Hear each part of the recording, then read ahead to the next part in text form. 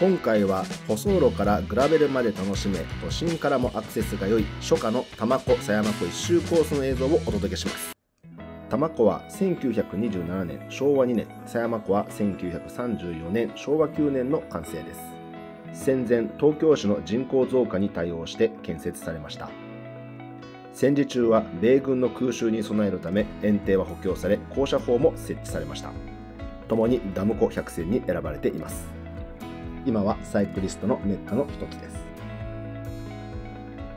この先左に青梅街道につながる道があります。多摩湖狭山湖造成にあたり敷設された旧羽村山口軽便鉄道のトンネルを抜け狭山湖を目指したいと思います、えー、ここですね、えー、予想赤坂、えー、こちらの、えー、看板になります。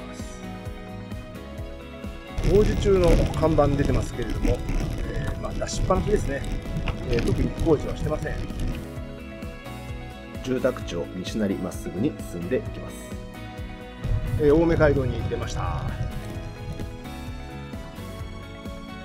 それで最初のですねこの信号を右折します。この辺りから羽村山口軽便鉄道の軌道跡になります。そしてトンネルが3つ続きます。トンネルの中はとてもひんやりしています。幅が狭いので気をつけて進みましょう。トンネル3つ抜けまして、えー、この後、えー、いよいよ、えー、グラベルに入りたいと思います。自転車のタイヤをトレックの標準のタイヤからパナレーサーのグラベルキングに変えてきました。タイヤの評価は後ほどお伝えします。武蔵村山市の学校給食センターの裏から入っていきます多摩湖を出まして約40分、えー、こちらのですねインフォメーションセンターの上に、えー、展望デッキがあるのでこちらでちょっと休憩したいと思います。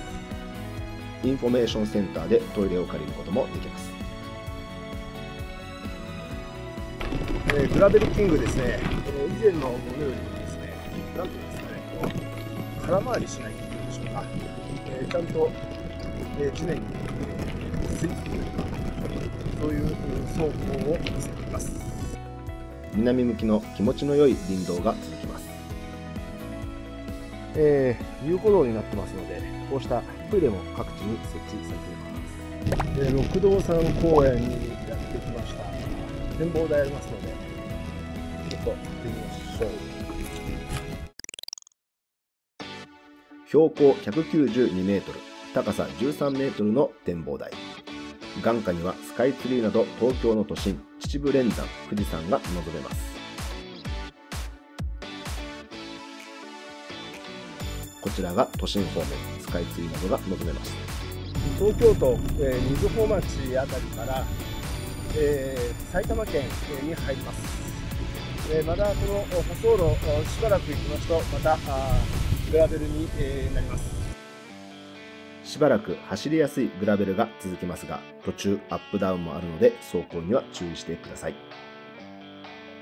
ちょっといつものルートを外れまして、えー、今の道、えー、左折してですね甘いものを食べたくなったので買いに行ってみたいと思います。道悪狭山湖をですね降りてきまして、えー、ここは入間市宮寺になります。突き当たりをですね左にがところにここですね。行きましょう。地元で愛される亀屋さん。こんにちは。草餅一つ。あと酒まんじゅうも一つ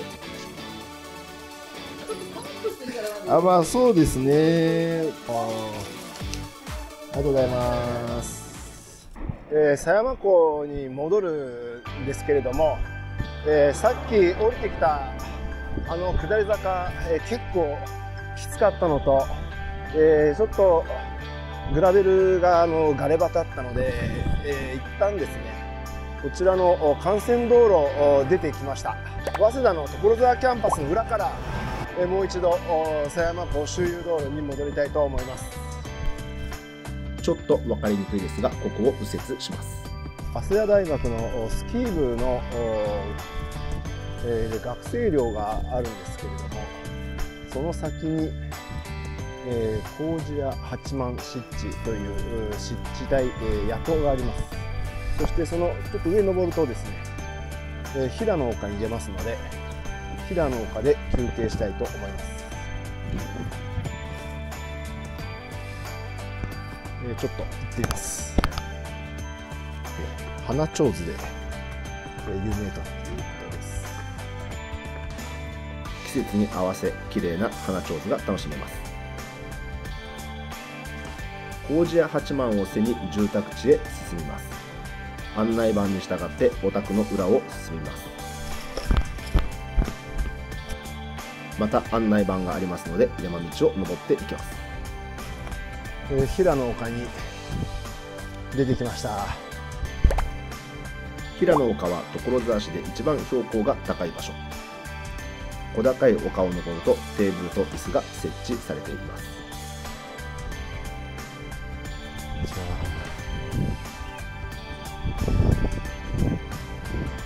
ここから所沢市や埼玉市方面が望めます。見晴らしが良くてなんだか心がスカッとします。亀屋さんで買ってきた酒まんじゅうと草餅。まずは草餅から。柔らかくてあんことよもぎの香りがベストマッチ。ちょっとこれ満足 あんこが疲れた体を癒してくれました、えー、この後平野丘から狭山湖を回り、えー、そして多摩湖へ向かいます。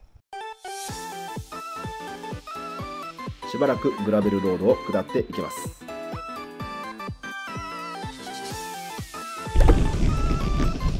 狭山港にやってきました、えー、これで、えー、グラベル終わりましたので、えー、会議や騒動があとは待っています。こちらの東屋から富士山が望めます。特に桜の季節や紅葉の季節は絶景です。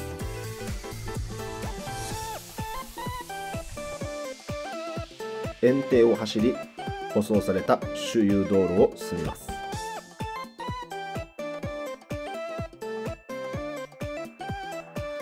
西武球場を通過しスピードを上げていきます。